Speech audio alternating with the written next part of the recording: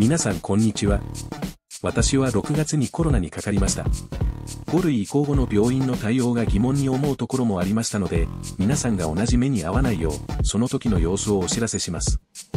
6月のとある金曜日、喉が意外がしましたが、そのまま仕事をし、いつものように夕方にジョギングをしました。次の日の朝、だるかったので、熱を測ると37.4度でした。市内の病院に行ったところ、受付で熱を測ると37.7度だったので、別室に案内されました。その別室とは、こんなところでした。縦1.2メートル、横1メートルくらいの狭い場所で、看護師さんたちの休憩所のすぐ横でした。そんな狭い場所で、熱もある状態で2時間40分待たされました。その間、看護師さんたちは、休憩所でお菓子や飲み物を食べていた感じでしたが、私には誰一人として声をかけてくれることはありませんでした。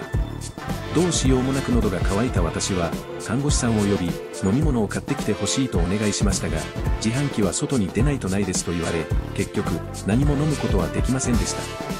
気が狂いそうでした。その後、ようやく医師のもとに呼ばれました。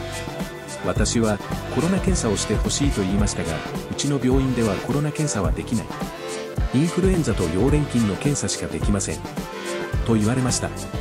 私は、なぜ、もっと早くにそれを教えてくれないのか、そして、看護師が2時間40分の間、発熱の患者に対し、何一つ声かけをせず、自分たちばかりが休憩し、飲み食いしているということに疑問を感じました。結局、この病院では、仮にあなたがコロナだとしても、5類に移行したので、一般的な風邪薬しか出せませんと言われました。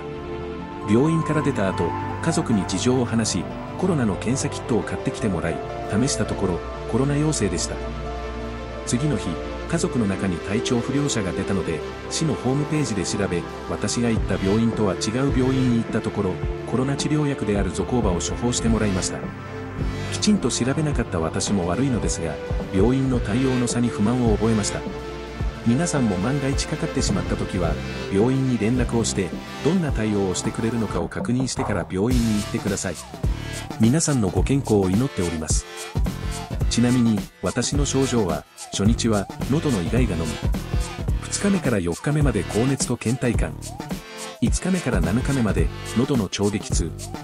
8日目、9日目は倦怠感。10日目から職場復帰しました。職場復帰した1週間は仕事がきつかったです。人によって症状は違うようですが、皆さん、本当に気をつけてください。今回もご視聴いただき、ありがとうございました。チャンネル登録と高評価をお願いします。